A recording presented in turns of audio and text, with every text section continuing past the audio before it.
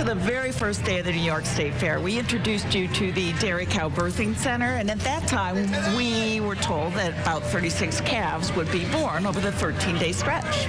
So News Channel 9's Madison Moore went to check and see how many of these utter miracles, I had to borrow it from you, It was great. have happened here at the fair so far. Jeff and Christy, it's day nine here at the Great New York State Fair, and the folks at the Dairy Cow Birthing Center have been busy. They welcomed 20 baby calves into the world as of this morning, with three more expected sometime today. Let's go meet the utter miracles.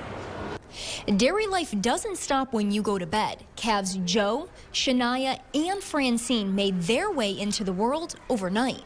Back home on the farm, cows will have their calves any time of the day. Here at the fair, the heat is not our friend. It is really rough on cows and it's rough on people as well. So we, uh, we've seen a couple of middle of the night calvings. But sadly, these farmers' jobs come with heartache. The center lost calf Rainbow, who was born Monday with health issues. And despite their best efforts, they couldn't save.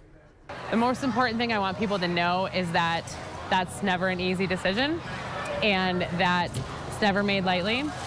But it's also something that we're transparent about.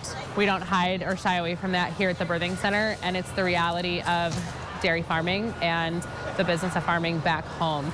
But Rainbow spirit will live on here at the Dairy Cow Birthing Center. They expect to welcome 36 calves by the end of the fair. And if you can't make it here in person, you can text the word MOO to 24587 and you'll get a link to a live webcam where you can watch at home.